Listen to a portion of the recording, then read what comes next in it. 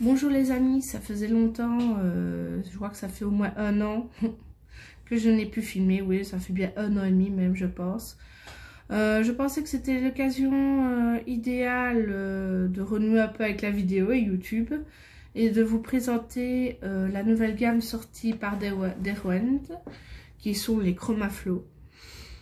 il existe deux boîtes donc une boîte de 12 couleurs et une boîte de 24 couleurs. Bon, j'ai préféré prendre celle de 24 couleurs qui est un peu plus complète. Donc c'est une nouvelle gamme de crayons euh, qui est sortie début d'année, il y a quelques semaines, et qui était destinée au marché à si je ne me trompe pas. cependant, on peut les trouver euh, sur Amazon.com au prix d'une vingtaine d'euros plus euh, les, frais, euh, les frais de port, puisqu'on importe des États-Unis. Euh, disons que ces crayons m'ont vraiment intriguée. C'est vrai que quand il y a une nouveauté, voilà, on est toujours un petit peu intrigué, on se demande que valent ces crayons, est-ce qu'il y a des nouvelles couleurs, comment étaient-ils fabriqués, est-ce que ce sont des crayons à l'huile, des crayons à la cire, ben, pour cette première question, euh, quelle matière ils sont Ce sont des crayons à la cire. Donc, euh, ce sont des crayons à la cire. Et pour, est-ce que ce sont des nouvelles couleurs? Ben, En fait, non, ce ne sont pas des nouvelles couleurs. Euh, en fait, voilà, j'ai fait le nuancier. J'ai réalisé le nuancier, j'ai découvert que ce sont donc des crayons à cire qui se travaillent assez facilement. Euh, ils sont moins euh, friables que, disons, soyez honnêtes, les Chromaflow se situent dans le moyen de gamme de chez Derwent. Le haut de gamme comme les Lightfast, les Inktense, euh, voilà, on n'est pas à ce niveau-là. On est au niveau des Colorsoft et des Procolor. Voilà. Les Colorsoft, c'est une gamme de 72 crayons qui sont à base de cire et les Procolor, ce sont également une gamme de de crayons à base d'huile. Les Color Soft sont connus pour être assez fragiles et friables. Euh, ils se travaillent très facilement, mais euh, voilà, quand un crayon se casse, ben, c'est très difficile de le réavoir. Et les Procolor, hélas, ils, sont connus euh, pour avoir de très belles couleurs, des couleurs assez euh, assez, euh, qui sortent un peu de l'ordinaire. Ce, ne sont pas des couleurs que vous retrouverez dans les gammes de crayons chinois, même si on a 180. Euh, il y a vraiment des couleurs particulières, mais ils sont beaucoup plus difficiles à travailler. D'ailleurs, je les rapproche des Hiroiten. mais si vous avez le bon papier, franchement, vous pouvez faire des choses très intéressantes avec les Procolor, donc les Derwent Procolor, ou avec les Hiroiten, ces fameux crayons japonais dont tout le monde parle, mais la plupart n'aiment pas trop euh, avec. Ils aiment beaucoup les couleurs, mais euh, si on n'a pas le bon papier pour travailler avec, ça ne marche pas. Euh, c'est difficile à travailler. Bon, je reviens à nos moutons avec les Derwent. Donc, les couleurs, le nuancier des couleurs, des 24 couleurs est assez équilibré. Il y a des jaunes, il y a des oranges, il y a des roses, il y a des couleurs pour faire le thé, il y a des bleus, des violets, il y a même un beau turquoise green. Euh, il y a vraiment de tout. Un ocre, il y a burnt sienna, hein, le fameux, le fameux orange marron euh, qu'on utilise souvent pour le thé ou pour la nature. Euh, le raisin également pour le thé. Il y a même un bras, il y a un gris clair, le platinum, c'est le crayon le plus sec je trouve dans la gamme de Chromaflow. Il y a un noir et un blanc, mais euh, le noir et le blanc ne sont pas particulièrement extraordinaires comparés au blanc et au noir de chez Lightfast. Ils sont clairement un cran en dessous. Et c'est comme ça qu'on voit que ce n'est pas une gamme qui peut s'élever au niveau des Lightfast, mais plutôt euh, être au niveau des Color Soft et des Procolor. Il n'y a pas réellement de nouvelles couleurs, tout simplement parce que je retrouve euh, la plupart des couleurs dans les autres gammes. Amber Gold, Golden Sun, Flame, Scarlet Strawberry, Salmon, Magenta, euh, Violet, Denim, euh, turquoise green basil, foliage, grass green, burnt sienna, raisin, natural brown, platinum et black. Je les retrouve chez les Light Fast. Voilà, je prends au hasard. Euh, voilà, le Golden Sun. Voilà, je retrouve là, c'est un ocre. Et je ne vous ai même pas encore montré les Derwent Chromaflow. Voilà, c'est dans deux racks. Ils sont, ce que j'ai oublié de dire, c'est qu'ils sont numérotés est nommé, hein, puisque j'ai pu faire le nuancier grâce à ça. Donc c'est pas mal du tout. Donc ça montre quand même qu'il y a un moyen Alors si vous en voyez user, c'est qu'il y a eu un petit peu de casse lors de la réception. Et également parce que je suis en cours de coloriage qui est assez grand. C'est toute une feuille à 4 avec le fond inclus. Donc ça peut user quand même certains crayons. Euh, je vous en sors juste au hasard. C'est un crayon avec la baril. Voilà, je remets ma place. Avec un baril assez fait. Si on compare par rapport euh, au Color Soft, ils sont moins épais. Très légers. Donc pour les gens qui n'aiment pas les crayons légers et faits, ben, passez vos chemins parce que ils sont faits et très légers. Ils sont faits en Angleterre. Donc ils ne sont pas faits... Euh, euh, chez, en Chine, ils sont pas, voilà, c'est bien un produit anglais, ça reste un produit anglais. Et le bois euh, est clairement moins qualitatif que Lightfast par exemple, ou même un... Est-ce que j'ai un Procolor ici? Oui. Voilà, Procolor. Le, baril est plus fait, qualitativement le Procolor et le Lightfast, je trouve qu'ils ont l'air de meilleure qualité. Donc voilà, je retrouve beaucoup de couleurs chez Lightfast. Je remets de côté. Et je retrouve également des couleurs euh, chez Colorsoft, le blush pink. Vous savez, ce fameux rose, euh, ce rose clair. Eh ben, je retrouve chez Chromaflow. Donc, chez Colorsoft, dans la gamme Colorsoft, chez Chromaflow. Et étonnant, ce rose-là, je le connais très bien parce que je l'aime beaucoup. C'est l'Atrakinon Pink de chez Carodash Luminance. Oui, d'ailleurs j'ai fait une petite comparaison. Ici c'est Luminance, ici c'est le Chromaflow et ici c'est le Color Soft. Donc euh, vous voyez euh, les, les, les, roses se ressemblent énormément. C'est vraiment un rose clair euh, qui peut être utile pour le thé, qui peut, qui peut être utile pour les fleurs pour les vêtements, voilà, pour tout ce que vous voulez. L'imagination n'a pas de limite. Donc voilà, tout simplement. Le blue et le light blue, je les retrouve chez euh, Colorsoft et Procolor. Donc ce ne sont pas non plus des nouvelles couleurs. Le turquoise green, je le retrouve chez dans la gamme Procolor et Light Fast, c'est vraiment un vert turquoise magnifique. C'est un must-have pour euh, ceux qui aiment bien euh, les turquoises, qu'ils soient bleus ou verts, euh, vraiment. Donc le nuancier, je le trouve extrêmement, extrêmement équilibré. Franchement, pour 24 couleurs, il y a tout ce qu'il faut. J'avoue que d'habitude, je râle toujours. Je me dis, oh oui, il manque un rose, il manque ceci, il manque cela.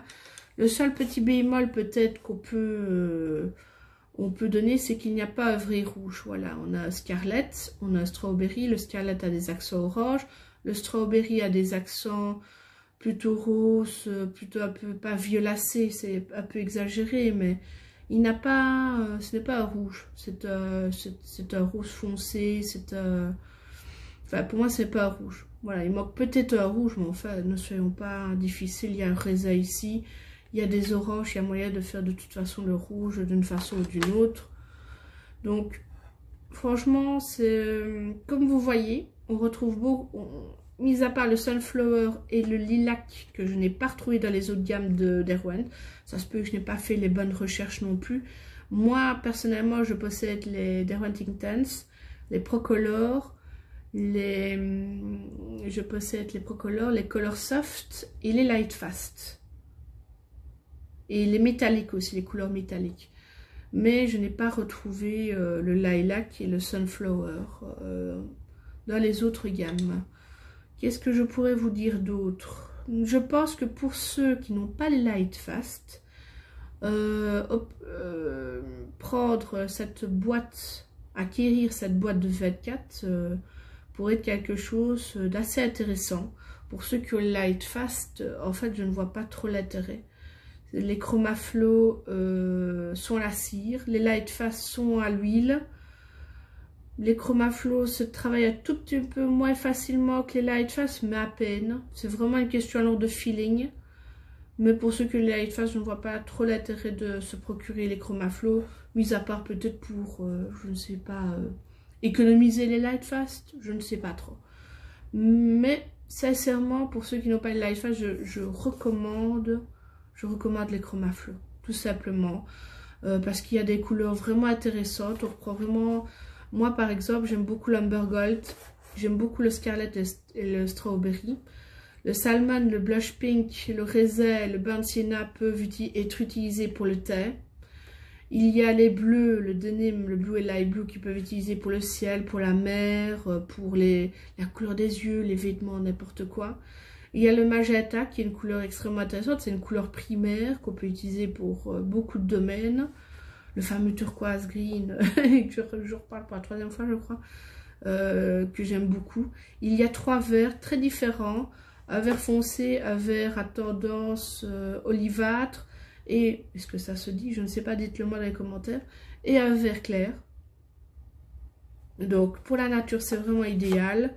Comme je vous ai dit, le bain de et raisin, c'est pour les éléments naturels ou pour le thé. De même que pour le natural brown, pour le thé aussi, peut être utilisé. Le seul bémol, c'est le platinum, le black et le white. Le black, le white, euh, ils ne sont pas mauvais, mais le black et white sont clairement en dessous des black et white de chez Lightfast. Ils sont quand même, parce que c'est vraiment des crayons assez exceptionnels de la gamme Lightfast. Et Platinum, il, euh, est un petit peu plus sec quand même euh, que le Lightfast. Il est un peu clair. Euh, donc, euh, mais on ne voit pas une différence. Par exemple, ici, j'ai testé, je pense, j'ai testé le flemme. Le flemme. Donc, il y a euh, le premier qui est de Light Fast et le second euh, de la gamme Chromaflow et on ne voit vraiment pas la différence. C'est bien pour vous dire que pour ceux qui n'ont pas les Lightfast et qui voudraient un petit peu tenter les couleurs du Lightfast de la gamme Lightfast sans mettre le prix, la gamme euh, les 24 de Chromaflow, ben, ça pourrait être, ça pourrait être euh, un bon plan.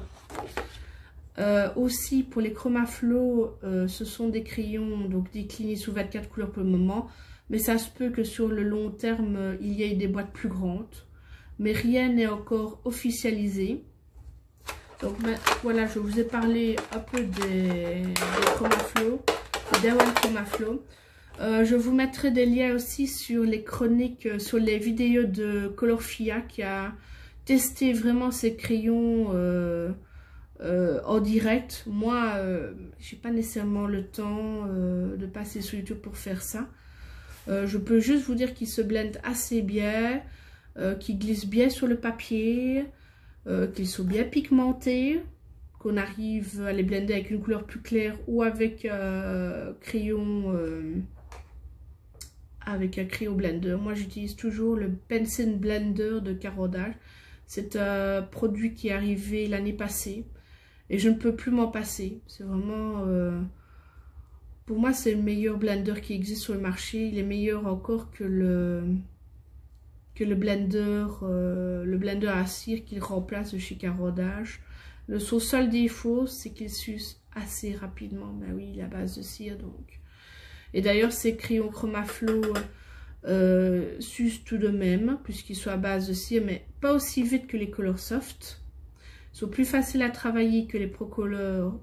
Que les Procolor. Ils sont, euh, comment dire, je les trouve vraiment bien je trouve qu'ils sont vraiment intéressants à tester. Euh, je ne les recommande pas, pas pour ceux que Lightfast, vous l'aurez bien compris, je crois que je ne les répète pas la sixième fois.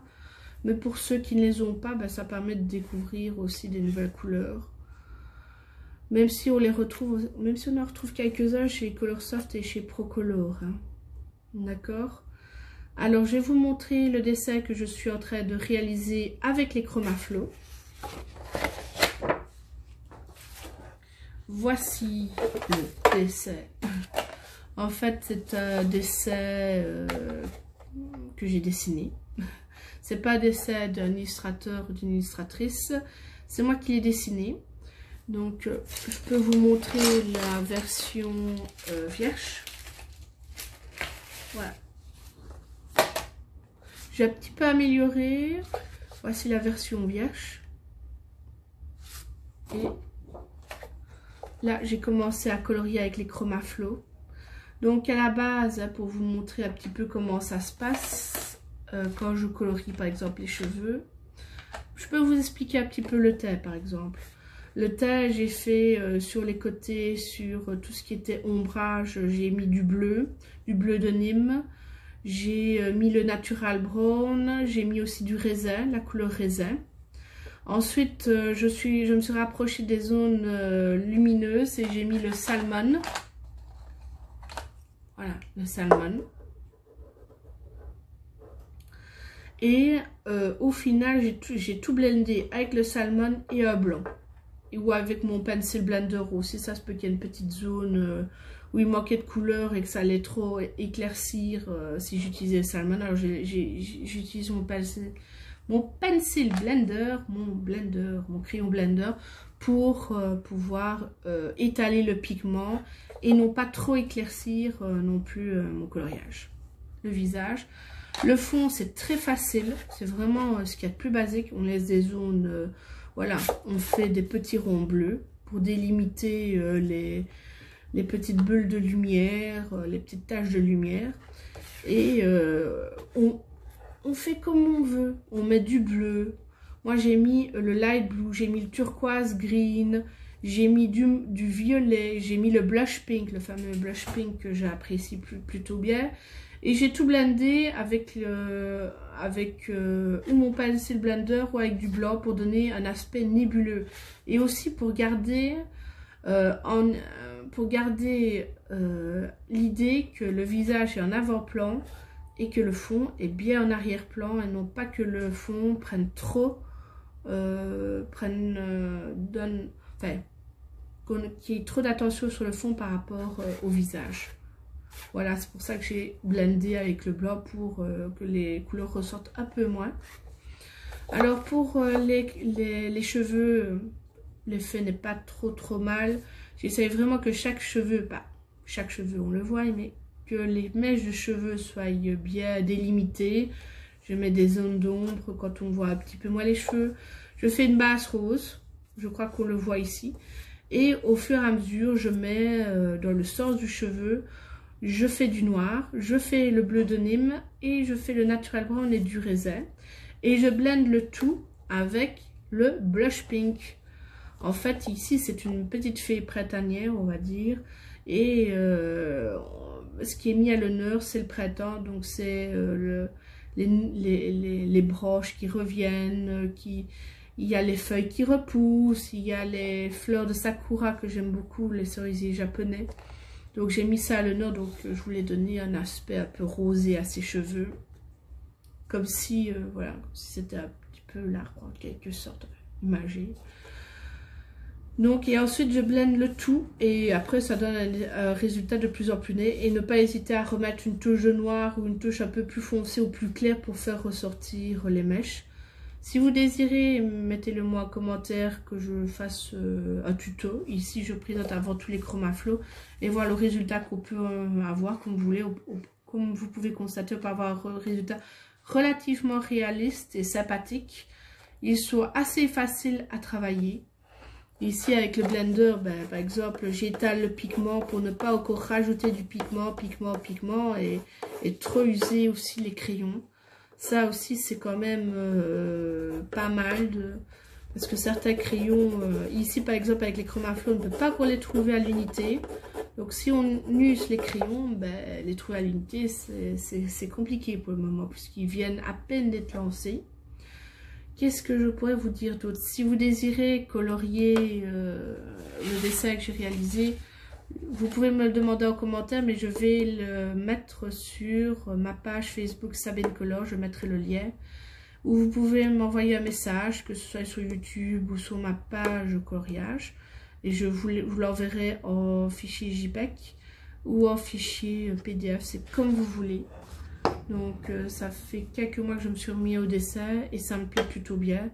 Je suis plutôt contente du résultat. C'est pas extraordinaire, c'est mes débuts. C'est mes débuts, c'est clair, mais je suis plutôt contente du résultat. Euh, voilà, je vais mettre fait tout doucement à ma présentation. Euh, je voulais aussi vous parler de quelque chose. Voilà, je suis Je pourrais faire un autre post à ce sujet, mais je ne sais pas si j'aurai le temps ou si j'aurai l'envie à ce moment-là. Mais j'utilise essentiellement deux types de papier. Pour, ce, pour mon nuancier, j'ai utilisé donc le corps mi-tête de couleur blanche. N'oubliez pas les amis, le blanc, c'est ce qui euh, reflète le mieux les couleurs et la réalité des couleurs. C'est-à-dire que si on prend un ton gris, si on prend un papier gris euh, ou un papier euh, qui a un peu couleur craft ou un autre papier, les couleurs seront tout de même déformées. Bien sûr, ça va faire ressortir ces flashs. Et moi aussi, j'ai les Strasmore et tout. J'en ai. J'en ai. Et j'ai fait beaucoup de collage dessus. Mais n'oubliez pas que le blanc, c'est vraiment ce qui rend le mieux les couleurs. Donc si vous voulez un aspect très réaliste, c'est vraiment le blanc auquel il faut se tourner. Si vous voulez vous donner un aspect un peu plus surréaliste, vraiment donner un autre aspect plus flash, il est clair que les tonnes gris ou les autres sont, peuvent être recommandés. Mais voilà, il ne faut pas oublier ça pour les coloristes professionnels, c'est vraiment ce qui est important, c'est euh, rendre les vraies couleurs. Donc voici le son mi-tête. Il est fait en France. C'est du 160 grammes, donc il passe dans toutes les imprimantes. Normalement, sur la mienne, il passe parfaitement. Il y a un côté greffé, qui est pour les crayons de couleur, et un côté nid d'abeille, comme on appelle ça. Et ça, c'est pour les pastels. On pense souvent que quand son tête, ce sont pour les crayons, pour les pastels. Mais non, c'est également pour les crayons, le graphite ou pour les crayons de couleur. Et je vous assure, il est, il est vraiment top. Il est vraiment bien. Il faut savoir travailler dessus. Hein. Donc, il faut trouver son rythme pour bien, pour euh, avoir un aspect lisse ou non. Il faut, il faut travailler dessus mais il est en 50% coton, donc il rend parfaitement les couleurs. Ça, c'est très important de le dire. Il faut un papier avec un minimum de coton pour avoir euh, un rendu des couleurs vraiment extra. Et aussi pour le, sur le temps. Sur le temps, le coton euh, se préserve beaucoup mieux qu'un simple papier d'imprimante, aussi bon soit-il, ou qu'un papier recyclé comme le Strasmore d'ailleurs. Donc euh, voilà, sur le temps, si vous mettez ça au cadre euh, dans votre maison, que ce soit devant une lumière ou autre, ce papier-là se conservera beaucoup mieux. Et même dans vos fardes, il se conservera beaucoup mieux. Et j'utilise, j'ai utilisé pour mon dessin le papier Fabriano Academia. Le voici. Donc, euh, c'est du papier 200 grammes. Donc là, il ne passe pas dans toutes les imprimantes, bien entendu. Là, je suis désolée pour vous et pour moi aussi, parce qu'il ne passe pas. Il y a 100 feuilles et il, est aussi à base de coton.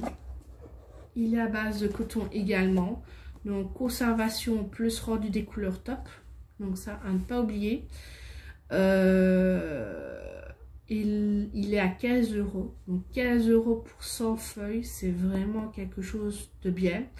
Alors pour ceux que ça, qui ne passent pas dans l'imprimante, ben, il y a la fameuse tablette lumineuse. Donc vous imprimez les deux sacs que vous voulez. Et puis vous utilisez la tablette lumineuse pour... Moi avec mon dessin, c'est ce que j'ai fait. J'avais fait... Euh, j'ai dessiné dedans.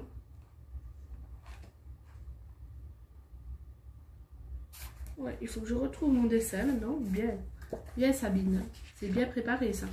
Voilà, j'ai mon dessin à l'origine.